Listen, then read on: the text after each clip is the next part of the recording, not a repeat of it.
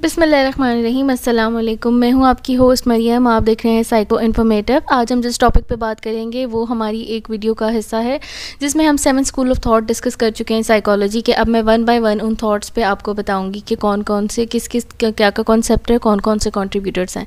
तो सो आज हम पहले स्टार्ट करेंगे सबसे पहले स्ट्रक्चरलिज्म से।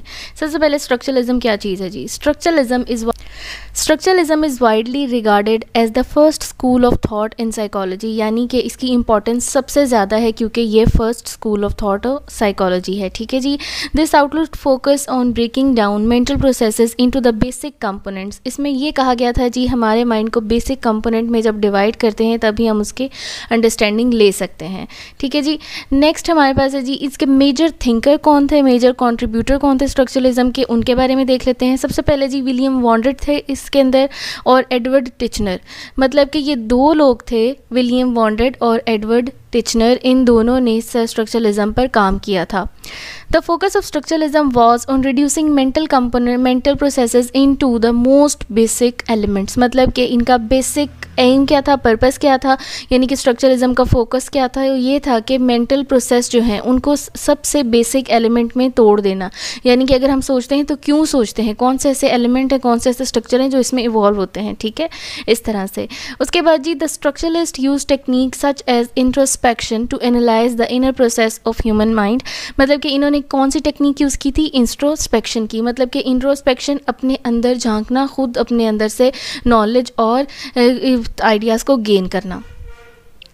अब जी विलियम वॉन्डेड जो थे विलियम वॉन्ड्रेड ने क्यों स्ट्रक्चरलिज्म बेस किया था? विलियम वॉन्डेड ने सबसे पहले क्या किया था? स्ट्रक्चरलिज्म को परफॉर्म किया था ठीक है? उन्होंने इसकी परफॉर्मेंस के लिए एक लैब बनाई थी। The founder of first experimental lab is often associated the school of thought मतलब कि उन्होंने स्ट्रक्चरलिज्म को प्रूव करने के लिए अपनी पहली लैब बनाई थी साइकोलॉजी की जो कि अब मशहूर है किसके लिए? साइकोलॉजी की लैब के तौर पर। तभी साइकोलॉजी को साइंस का दर्जा मिला था। सो so, स्ट्रक्चरलिज्म बहुत इंपॉर्टेंट है। However Wundt did refer to his view of psychology as a voluntarism मतलब कि उन्होंने वॉल्टरली काम किया था। उन्होंने साइकोलॉजी के लिए वॉल्टरली काम किया था। उन्होंने किसी के आइडिया को, किसी के थ्योरी को नहीं उठाया था। उन्होंने अपना स्ट्रक्चर लेके आए थे। मतलब अपना स्ट्रक्चरलिज्म लेके आए थे और उसके ऊपर उन्होंने साइकोलॉजी को बेस करके लैब बना दी थी। It is it was his student Edward B Titchener who coined the term structuralism मतलब कि स्ट्रक्चर वॉल्ट्रिज्म को उन्होंने स्ट्रक्चरलिज्म में चेंज किया था। एडवर्ड टिचनर ने। सबसे पहले विलियम वॉर्डन ने जो आइडिया बनाया था स्ट्रक्चरलिज्म का उनको कर, उसको कन्वर्ट किसने किया था उसको नेम किसने दिया था? एडवर्ड टिचनर ने। Wundt's theories tend to be much more holistic than the idea that Titchener later introduce in the United State अब टिचनर ने क्या किया था कि यूनाइटेड स्टेट में ये सारे आइडियाज़ को वाइड स्प्रेड किया था मतलब फैलाया था। Titchener believe that the goal of psychology was to study mind and consciousness Titchener ये बात करते थे कि जी इंसान जो हमारी साइकोलॉजी है वो बेसिक उसका गोल ये है कि माइंड को स्टडी करना और कॉन्शियसनेस को मतलब शौर को स्टडी करना। He defined consciousness as the sum of total mental experience at any given moment the mind the mind as the accumulated experience of the lifetime मतलब वो कहते थे कि हमारा जो शौर है, हमारा जो कॉन्शियसनेस है, वो हमारा टोटल मेंटल एक्सपीरियंस है, जो हम हर पूरी ज़िंदगी में एक्सपीरियंस करते हैं, वो एक लम्हे में सिमट जाता है और हमारा शौर बन जाता है। ठीक है जी?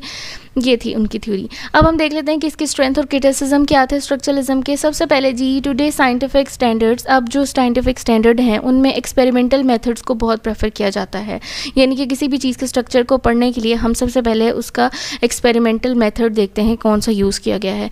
So experimental method use to study the structure of the mind were too subjective the use of introspection introspection lead to the lack of reliability in the result मतलब कि सब्जेक्टिव का मतलब होता है ऐसी चीज़ को चेंज ना किया जा सके। सो so, उन्होंने कौन सा मेथड यूज़ किया था? अपनी थ्योरी को बेस करने के लिए स्ट्रक्चरलिज्म में इंट्रोस्पेक्शन अब इंट्रोस्पेक्शन जो होता है वो हर बंदे का अपना अपना होता है। यानी कि ये इतना रिलायबल मेथड नहीं था।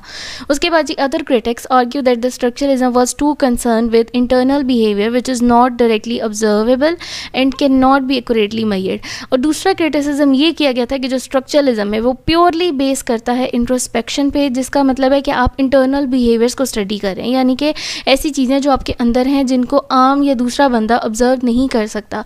सो so, इस बेस पे भी स्ट्रक्चरलिज्म को रिजेक्ट किया गया था कि हम इसको ऑब्ज़र्व नहीं कर सकते। ठीक है जी? However, the critics does not mean that the structuralism lacks significance. अब सारे इन दोनों क्रिटिसिज्म का ये मतलब नहीं है कि जो स्ट्रक्चरलिज्म वो बिल्कुल बेकार थ्योरी थी या बेकार स्कूल ऑफ़ थॉट था बल्कि ये बहुत सिग्निफिकेंट था structuralism is important because it is the first major school of thought in psychology the structuralism the structuralism school also influence the development of experimental psychology क्योंकि structuralism जो है वो base करता है एक्सपेरिमेंटल साइकोलॉजी को क्योंकि lab इसके साथ एसोसिएट है। सो so, स्ट्रक्चरलिज्म इसलिए भी इंपॉर्टेंट है कि इसमें एक तो हमें फ़र्स्ट साइकोलॉजी लैब मिली थी दूसरा हमें कॉन्शियसनेस का भी इसी से पता चला था इसी स्कूल ऑफ़ थाट से। और तीसरा ये कि बहुत इंपॉर्टेंट और फ़र्स्ट स्कूल ऑफ़ थाट है साइकोलॉजी का सो हम इसको डिनाई नहीं कर सकते। थैंक यू सो मच ये थी मेरी आज की वीडियो प्लीज़ मेरे चैनल को ज़रूर सब्सक्राइब कीजिएगा क्योंकि हम आपके सिर्फ़ कॉन्सेप्ट बेटरमेंट के लिए काम करते हैं। टेक केयर एंड अल्लाह हाफिज़